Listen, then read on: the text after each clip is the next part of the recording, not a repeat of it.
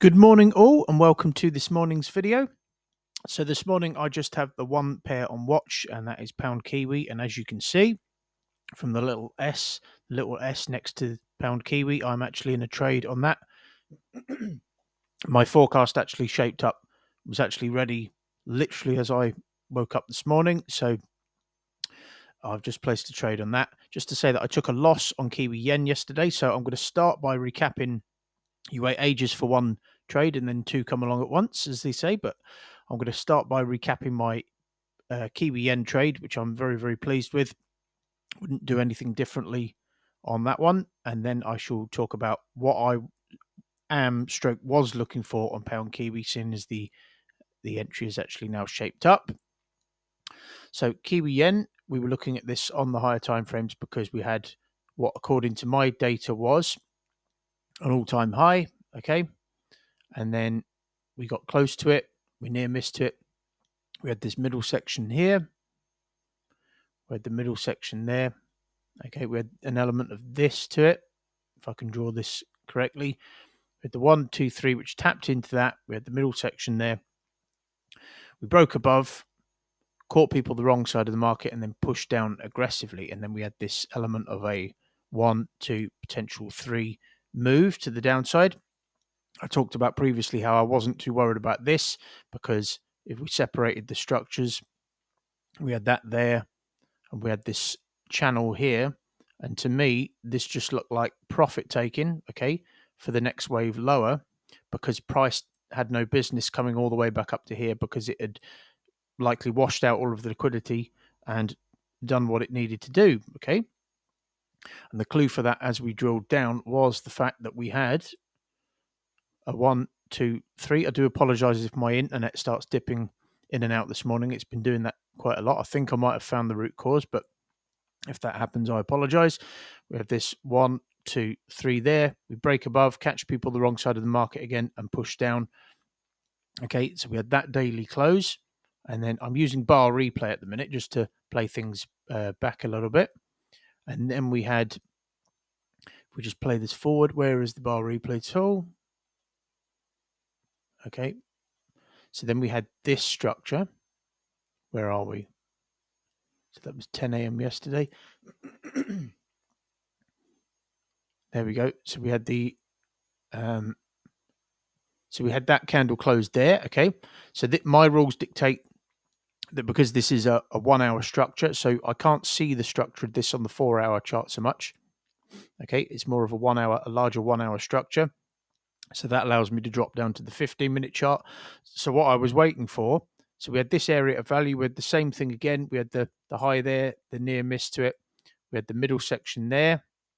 We even had a one, two, three last leg.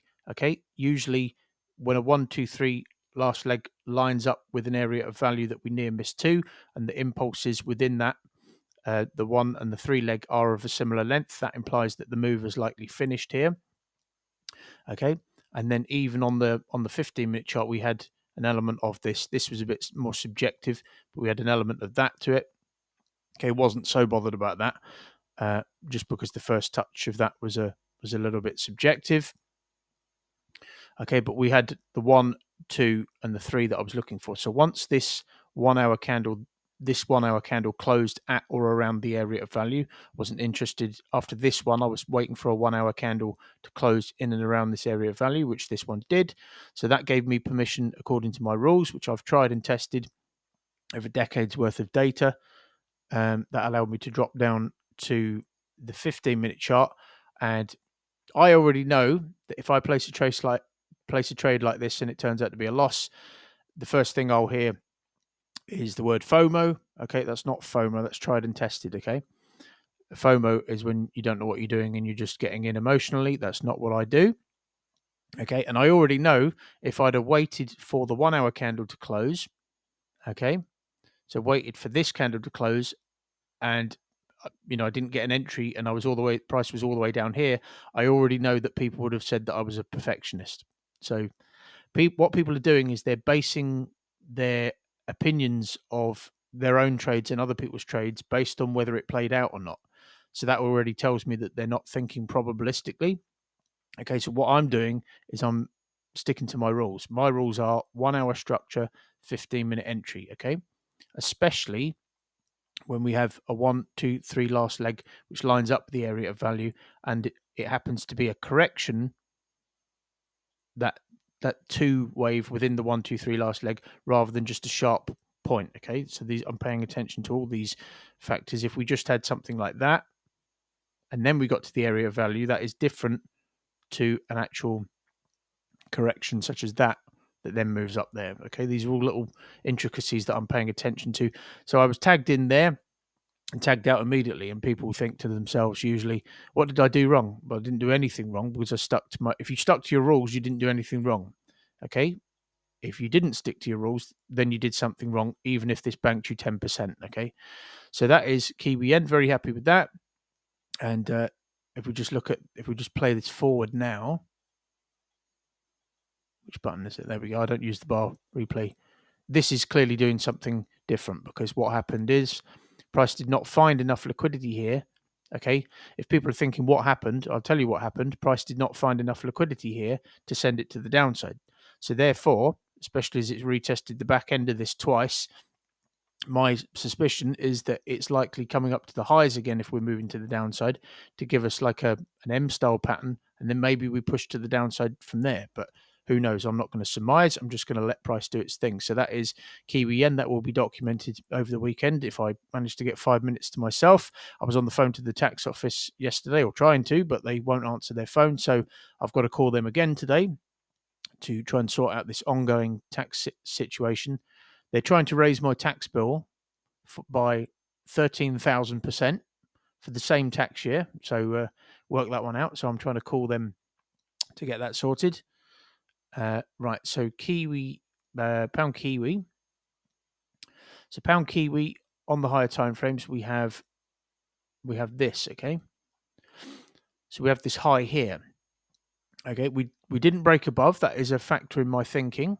Okay, but as I say, not all of these highs are broken above straight away. I do like the fact that we have an element of a one, two, three leading up to that, where you can see the middle section there. And what I what I also like is the fact that we have this last week's weekly close. Okay, close like this, very bearish.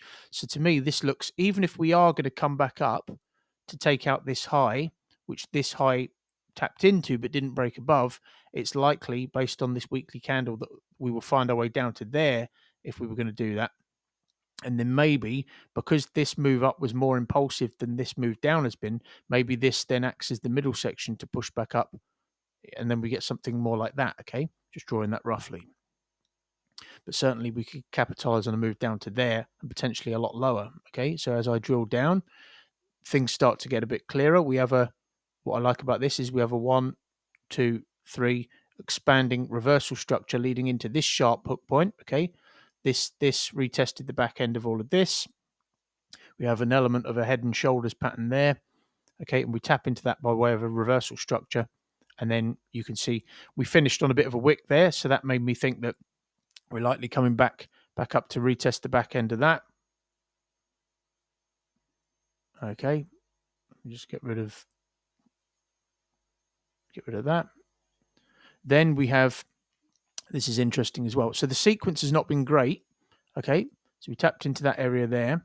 We then get the the push down just analyze the analyzing this on the fly. What we do have here is we have the little three touch there, which taps into this. Um, there's a little inflection point there, okay, which is more prevalent on the 15 minute chart. We retest the back end of that. Price pushes to the downside. Then we get a bit of uh, a little bit of strange pr- price action, but you can see price is still responding to structure. Okay, we kind of tap into this area here and retest the back end of that. We move to the downside. And then what I like about this is because these are my favorite setups. If we just analyze this, what do we have? We have a one, two, three, where the second touch breaks above the first, but narrowly misses this sharp hook point, which just happens to be the retest of the back end of that. Okay. And if we just zoom down a little bit more, we also have this little hook point there. I wasn't so bothered about that because that was sat above here, whereas this was more the retest, the back end of it. But regardless, look what we've done now. We have a one, two, three touch structure where both touches miss this hook point. We then tap into not just this hook point, but this one as well. We also, if I'm if I remember rightly, we also retest uh, we retest the back end of that. Okay, so we've tapped out both of these highs and retested the back end of that in the form of a one, two, three touch structure. There is a lot of liquidity that has likely just been tapped out by that move. Okay, so what I did is I got short. My entry was literally ready as I as I woke up. So what I did is I put my stop loss above here. Okay, and I placed my entry a couple of pips below the close of this one hour candle. So this was taken on the one hour candle. My entry stipulated if if three touch or if three touch one hour continuation or two touch one hour continuation with a three touch structural approach, which is we've we've kind of got both of them. We've got the one, two, three, but we've also got a, a three touch leading into that. Then I'll look to get short the 15 minute risk entry within it. That's the minimum requirements. You know, if I get a one hour entry, even better. Okay, so we've got the one hour confirmation, not just a 15 minute, but these were my minimum requirements. So I'm now in that trade, and due to the risk to reward, um, I amended my forecast slightly because I was intending to potentially set a take profit here if I could get a five to one. But seeing as I can only get a two and a half percent to the low now, what I did is I amended my forecast. So what I've done is I set a take profit at 90% of the range. Okay. So from from there to there, I set a take profit. Okay. So I measured from that range to the bottom of this range where I would anticipate some heavy profit taking if we do break this low. Okay. And I set so I set a take profit there and I'll be trailing my stop loss accordingly if this starts to break this low. Okay. And then that would make sense mathematically because if we measure this impulse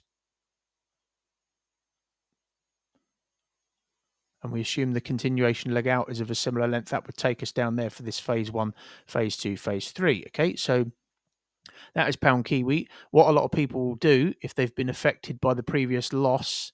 Okay, so if I'd been affected by kiwi yen, what's happened here? Why is that not deleting? Okay, so if I'd have been affected by Kiwi Yen, what a lot of traders do is they would have seen an entry like this shape up and they would have gone, oh, I'm not too sure about that. I'm not sure if that's quite right. And a lot of the time, what they're doing is they're talking themselves out of the trade because the previous one didn't play out. Okay, I don't do that. Okay, I've been doing this long enough now to not be affected by the outcome of one trade. Okay, in our community, we say that one trade is not going to make or break you.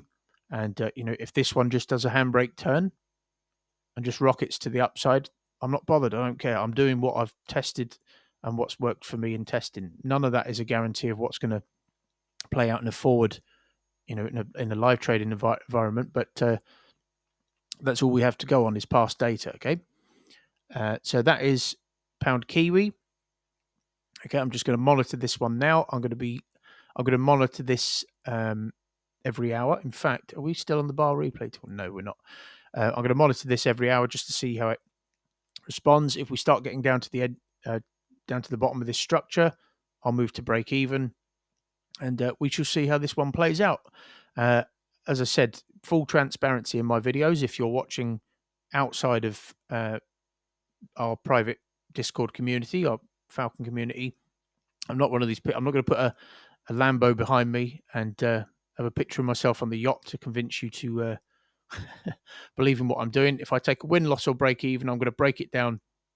And uh, regardless of how do we get out of this bar replay thing? Okay, but we'll see how this one plays out. Okay, why why is that not on exit bar replay? Okay, that's it. Right, so we're out of bar replay now. So we'll see how this one plays out. But anyway, folks, I hope you've enjoyed this video and I shall see you again in the next one and I will, will of course update you as to how this trade plays out. Have a great rest of your day.